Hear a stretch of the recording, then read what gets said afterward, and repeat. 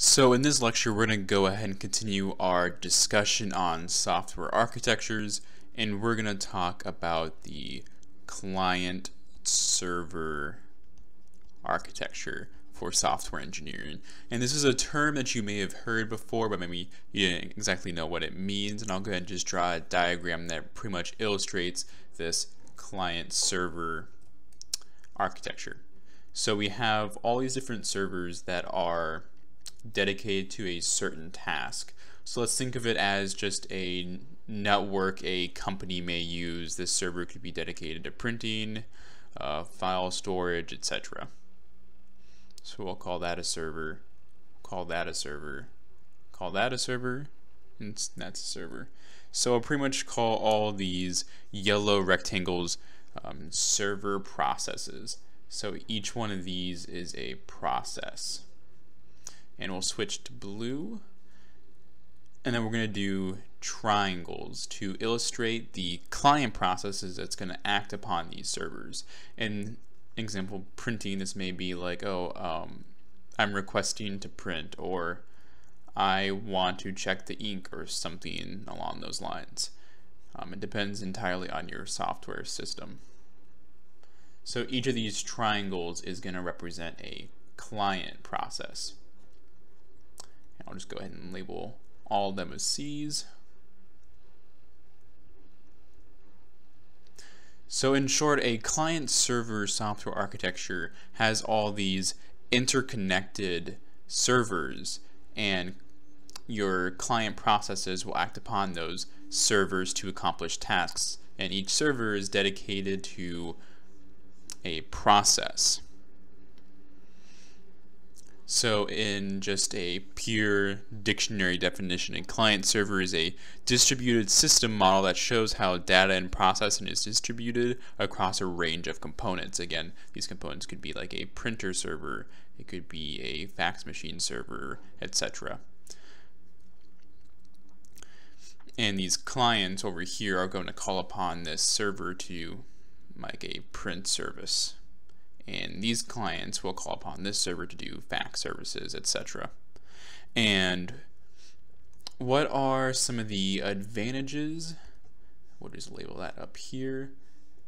Draw a line to separate that. And then what are the disadvantages of this client server system? Why do we want to use client server and not data flow or repository or any of the other software architectures?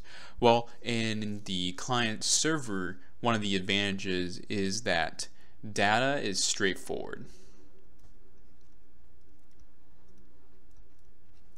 So it's going to flow from the client to the servers, between servers, etc. There's not really any complications with how how and where the data is going or traveling within this system.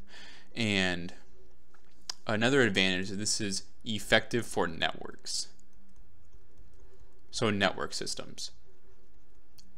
We'll just abbreviate that, effective networks. So what it's pretty much saying when it's a network system such as several different um, hardware pieces being connected together and then clients working on upon them to do certain tasks. That's a network system. So imagine just a bunch of computers connected, um, like a printer, a fax machine, then maybe this one over here is a workstation, something along those lines.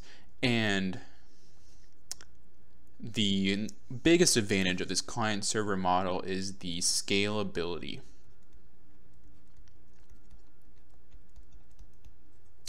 It is very easy to just say, oh, well, I need a new server system for this software. And it's really easy just to add this net, this uh, fifth server process here and then just add your client processes to it. So it's really easy to alter. It's really easy to add servers on.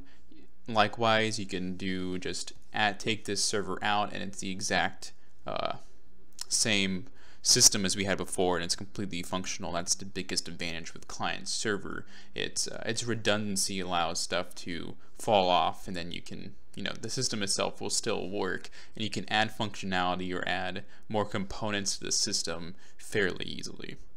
Now, what's the disadvantage?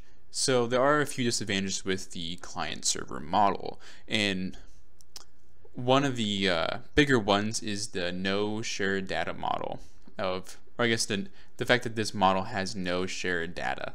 So there's unlike repository there isn't like this main database that all these servers are accessing together. Um, each server has their own information. They have to re relay it if you know that's what the server system has to do. It has to relay between the servers if there is not this common database they all work in and that's really tedious because if you need information from the printer to maybe this workstation over here to the printer you have to go this way and this way. You can't go straight through unless you had even more redundancy. But once you have too much redundancy then that can get a little complicated. And again there's also no just no central register for all the different components all the different data. So the fact there is no central database is a big flaw with this software system but I mean as we've talked about just all these different machines and components working together. It definitely has advantages and it depends entirely on what your software system is.